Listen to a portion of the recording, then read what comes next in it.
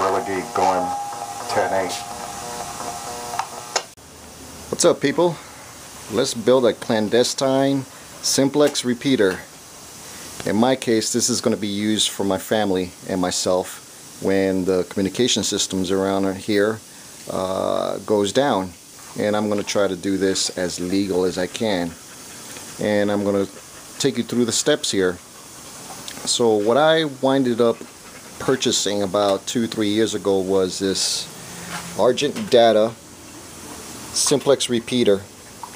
And Commsprepper has a video about seven minutes long. It goes into uh, an introduction of this device here. He calls it the uh, poor man's repeater.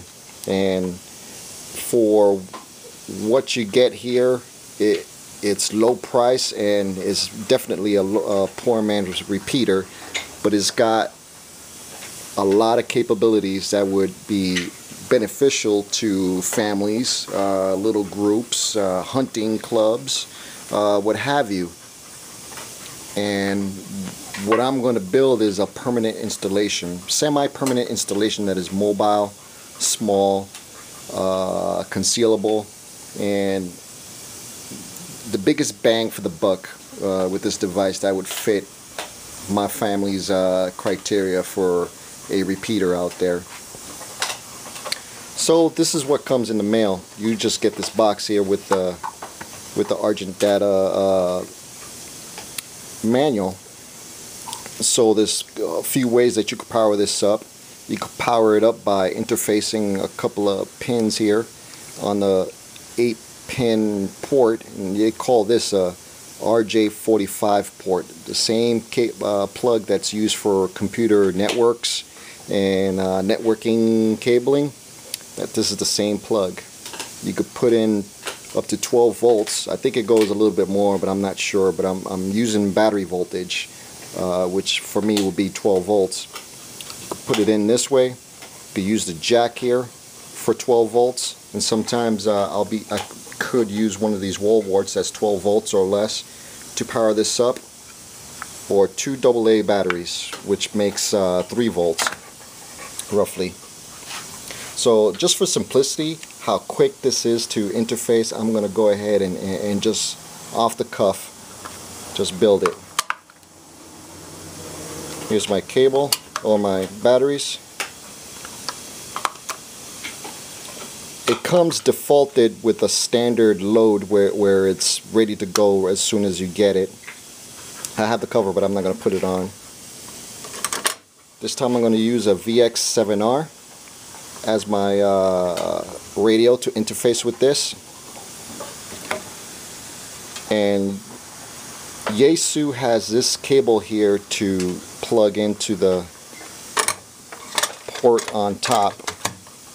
The port on top that goes to your speaker mic or, or what have you, or other devices. So this pretty much is proprietary to them. This plug right here, it's waterproof but it breaks it out into these uh, stereo uh, phone plugs here. You got 2.5 millimeters and 3.5 millimeter hole. Just screw it in.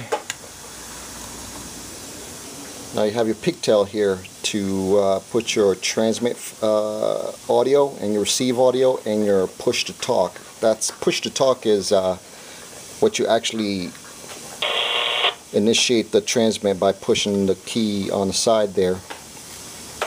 The Argent Data, you just plug it in.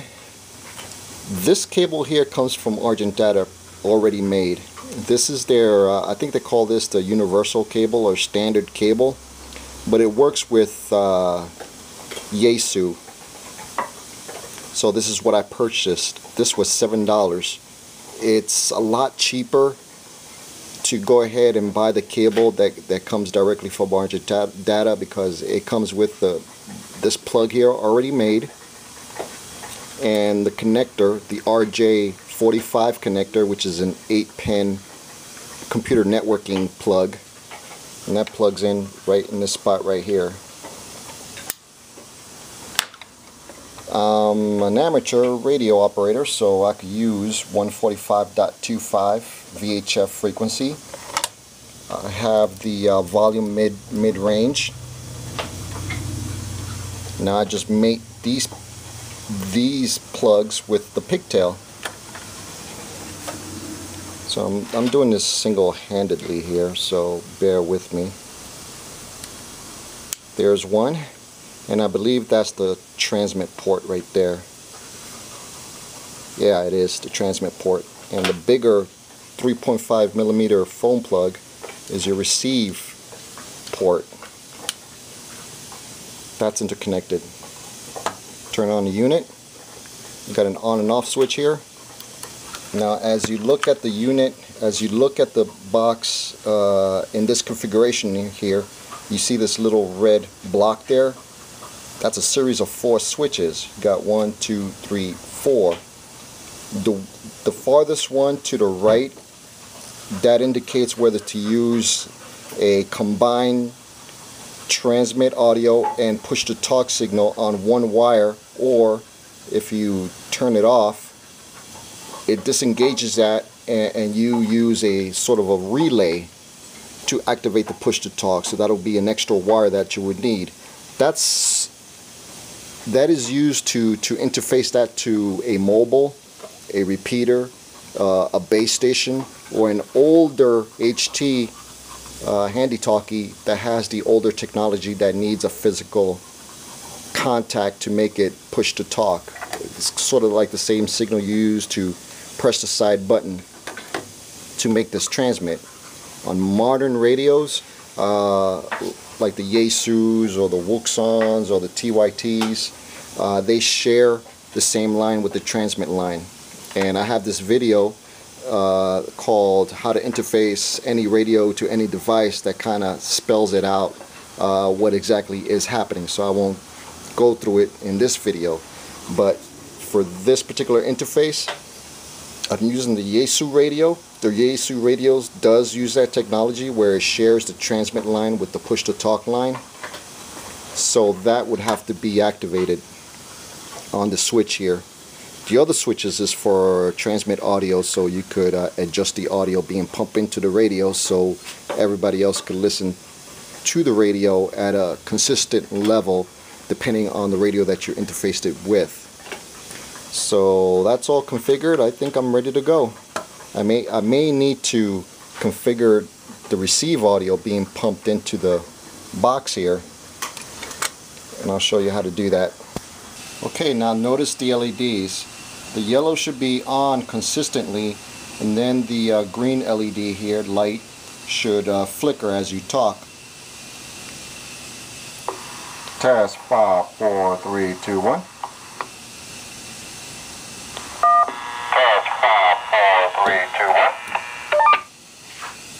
It sounds like crap because I got the uh, the charging base uh, charging it, so it's kind of interfering a little bit. So, and you adjust that level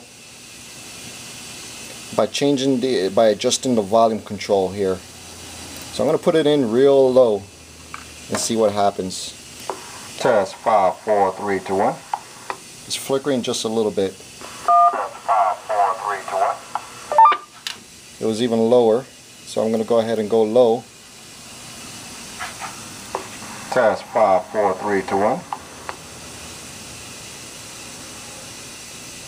Didn't even register it. So I'm going to crank it up all the way high and see what that sounds like.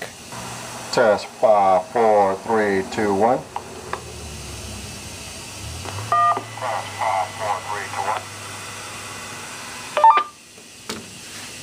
That sounded like crap.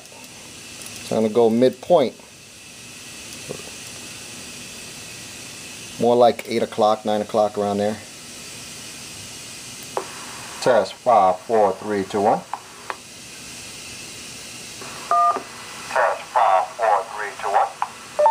That sounds a little bit better. So you got to play around with that volume control, the speaker volume, to make sure you get the proper levels going into the other radios in the, in the field. So that's probably the only adjustments that you really got to pay attention. And once you have all this all set up, walk away and have some fun. So as you can see, you can see the uh, the application that this device could provide you uh, out in the field. Since I do a lot of camping out here, sometimes I go alone. uh, I have contact with my family, which I will test out later when everything's built. So yeah, you got your your power, this, that. This configuration right here where it will last you, I think, maybe six hours. Uh, I don't know how long this will do on, on AA batteries, but this would uh, last for a good three to six hours depending on usage. Just put it on the hilltop and go away. And then you have uh, repeater operations. As you've seen from my other videos, this is the simplest configuration out there with the least amount of components. Uh, I don't need a duplexer. Here's my antenna that, that'll be using and later on this this will be interfaced with uh, with an external antenna to give me more range with a more efficient uh, antenna like a uh, a dipole, half wave dipole or Jim Slim or, or J-pole antenna. But since this is not simultaneously transmitting at the same time as it's receiving a signal, it needs to receive your, your transmission first, record it, and then transmit back out. So this is doing receive, record, then transmit back out. So it's sort of like you talking to somebody else on from HT to HT direct. So there, there is no need for a duplexer because uh, by by nature it doesn't need it. it. It does the separation you transmit and receive uh, either either one or the other, not at the same time. So it does not need a duplexer. No tuning, no expense, no bulk, no loss of, of power and reception because it's going through the filters, the duplexer. So you go, you, you got full 4 watts coming out your antenna into your antenna and not being absorbed by a duplexer. It's a simpler design, smaller package to be put in a ammo can over there pretty soon. So this is the basis of my family's re uh, repeater system. Uh, obviously I'm using a Yaesu VX7R uh, just for demonstrations and I'm legally able to use a ham light, uh, frequency with this to, to test. What I chose to use for my family as far as radio service is GMRS. Uh, whenever I'm in position to test this fully and deploy it, I will get the license then. But with the GMRS license, I'm able to include my family without testing. All I have to do is just pay the 80 bucks or whatever. I think it lasts for five years. I would have to look at the rules, but uh, it's for five years, I think, and it covers your whole family, your in-laws, cousins, distant cousins. It's wide, so in that one fell swoop, my whole family is covered. So, uh, and I do that because my wife does not want to go through the uh, amateur radio licensing and studying for it and stuff like that. And I'm not going to force her to do it, of course not. So when a problem arises, like in that situation where I believe this is really beneficial to the safety and comfort of our family when something goes wrong, uh, I have to come up with another solution, and that's it. GMRS satisfy that requirement. With the license, uh, I could transmit more uh, up to 50 watts. The HTs could transmit up to 5 watts. So this cannot do no more than 5 watts anyway, or a part 90 radio or these other radios cannot do no more than 5 watts so that's okay I'm covered GMRS you are able to use a repeater the rule says it must be a device that simultaneously repeats the traffic uh, in this case, it's not really simultaneously. It receives it, waits a little bit, and then transmit back out. But it doesn't have it doesn't say anything about simplex repeaters. There's nothing that says anything about simplex repeaters, so I think I'm safe using a simplex repeater with the GMRS service. FRS cannot do that. Uh, MURS cannot do that. You could do that with the hams. So another reason why you should get a ham license is you have more capabilities with the ham license. During peacetime, GMRS during peacetime is perfect for your family. They are legal, they could go under your license and, and you could use this for fun, camping, uh, something other than shit hitting the fan, WROL, or disaster. It could be used for everyday uh, task. Hey, Guerrilla Geek, get me some milk. The kids are hungry. You know, get that over the radio and boom, I got the message and I go off and, and do my thing. Or in this area where I live at, there's a lot of dead spots as far as cell phones. I have communications with this in a wider area. So this is the reason why I'm choosing this platform here. And bear in mind, this is a prototype. I'm just going to build a prototype for testing purposes. It'll be de fully deployed in the configuration that I want. It'll be made with cheap, inexpensive materials to, uh, just for testing purposes. I'm going to build it all, deploy it, and then test it out for a uh, uh, snowy season because uh, the mountain that I'm going to put this on uh, gets snow and, and temperature swings from hot to cold and you name it. So I want to test this in, in its environment that it's going to be placed in. This series of the personal repeater system that I'm building will be a pretty long series. I'm going to try to chop it up into little pieces. But in between the videos about this subject, I will intersperse other subjects from uh, questions I get from uh, subscribers and anybody that pretty much PMs me about a particular subject that it's best for me to do a video to explain uh, their question. Uh, for instance, uh, how to install a CB whip antenna. Uh, that'll be sometime soon uh, by request. So uh, yeah, this is going to take a little bit, little bit of time, but it's going to be slow, methodical, and complete, interspersed with other subjects. So just a warning. So this has been a brief introductory on building and deploying a simplex repeater for for your use. Uh, the next few video, the next video would be problems that I faced, a big mistake that I've made, and in, so far you've seen me interface this with a Yaesu VX7R, the best radio in the world just about, or one of them. And as you can see it works flawlessly right off the bat with, with the proper cables and everything. Uh, next, the, the, the radio that I'm actually going to use out up in the mountaintop to deploy would be a TYT radio that I featured in another video. Uh, that's going to be put up there because it's cheap. If it gets stolen, I'm not going to cry that much. I will cry over this, but not the TYT radio. So that could take a beating up in the hilltop. It's a different wiring to this, and I'm going to build from scratch an interface cable and show you the reason why that I made a mistake that, that damaged one of these units. VX7R cable which is sort of a Kenwood type plug. It's a standard Kenwood uh, plugging scheme uh, that fits the side of this here as well on the Wouxun and on the TYT but is wired differently. I winded up damaging one of my radios because I took it for granted and just plugged it in there anyway uh, without doing the proper checks.